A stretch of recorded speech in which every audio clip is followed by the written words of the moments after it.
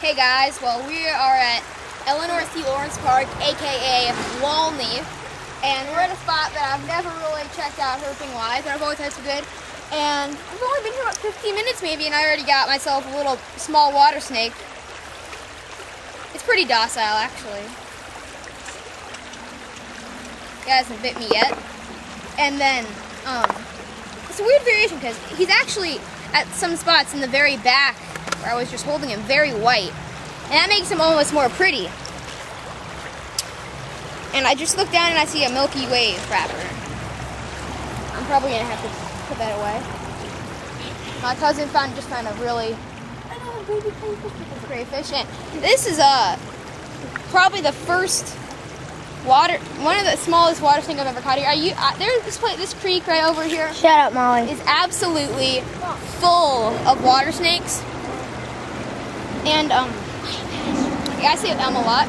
And uh, there's supposed to be actually a pretty decent size um, population of queen snakes. I've never found them before, but I've seen a couple pictures of them. And then there's, uh, there's crayfish along here, and I just want to find something else to make a decent video. I'm just going to let this guy go, and hopefully, if he's docile, I'll take some pictures. Molly's holding the snake. Out it. Let's go to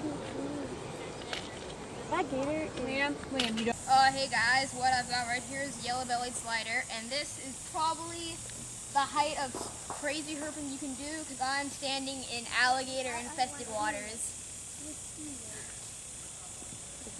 And um, it's probably the easiest place to ever catch turtles because the water is really shallow.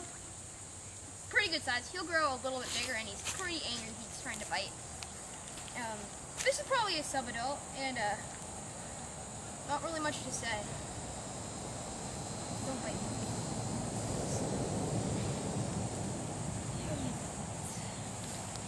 There's a- there's a lot of little The water level's low. It is.